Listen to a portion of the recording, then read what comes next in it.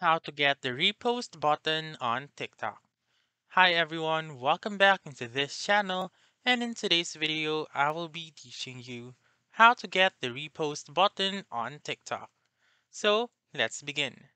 The very first option that I can suggest is to go to your App Store or your Google Play Store and then search for TikTok and make sure that the app is updated. So go search for TikTok look for it and make sure that the button right here doesn't indicate or doesn't have this logo like this one which says update. So go ahead and click on that update button and then go back to TikTok.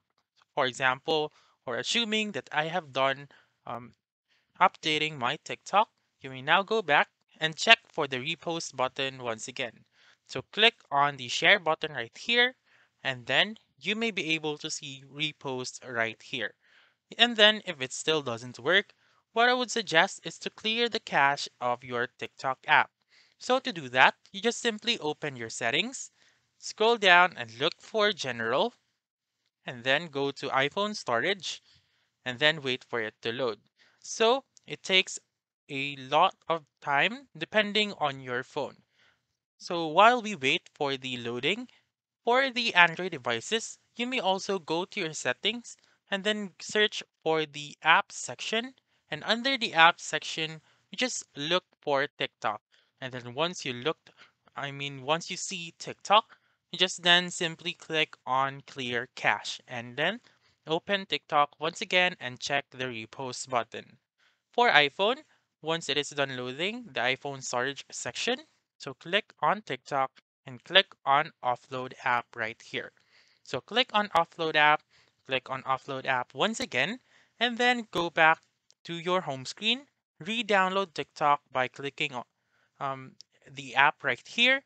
And then again, if it still doesn't work, what I would suggest is to open the TikTok and then go to your profile found on the lower right corner of the screen. Go to the three lines found on the upper right corner and then click on settings and privacy. So once you're here, scroll down and look for the support section and click on report a problem. Simply wait for it to load and then click on the compose button right here on the upper right corner. Wait for it to load once again and click on it once again on the upper right corner of the screen. So you should type in here I don't have the repost button.